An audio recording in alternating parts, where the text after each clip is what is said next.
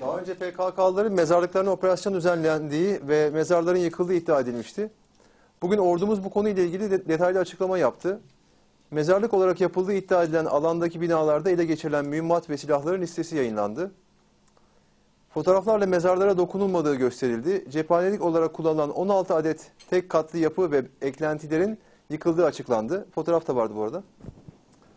Ele geçirilen silahlar arasında e, roket atar, anti-tank roket atar mühimmatı, Kalaşnikovlar, uçak savar mühimmatları, kanat suikast silahı, gece görüş dürbünü, el yapım patlayıcı malzemeleri gibi çok sayıda malzemenin yanı sıra 15 kilo esrar vardı.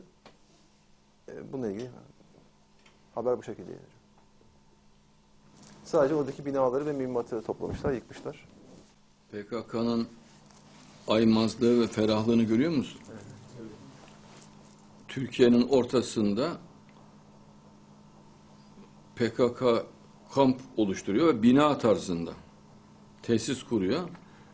E, tesisleri de garnizon gibi silahlandırıyor.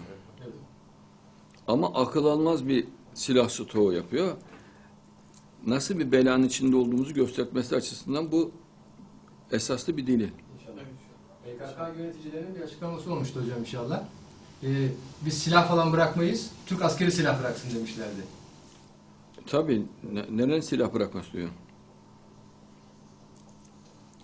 Bu mezarlık konusunun açıklamasını istemiştik.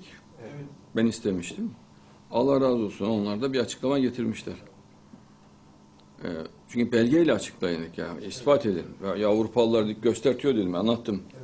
Değil mi? Fotoğraflarla belgelere göstertiyor. Yıkılmış binalar, şunlar, bunlar. Her şey ortaya çıkıyor dedim. E, siz de bunu ispatlayın göstertin sözlü olmaz dedim. Şimdi onu yapmışlar. Doğru yapmışlar. iyi yapmışlar. Ama tabii bu binaları bunların böyle pervasızca yapıyor olmaları da bu vakte kadar bu tesislerin görevde kalmış olması da ayrı bir felaket. Yani 2015 yılındayız. Adamlar oralara muazzam binalar, tesisler yapıyor. Türkiye'nin ortasında. Göz göre göre pervasızca da silahlandırıyor ve orayı adeta şehir haline getirmişler.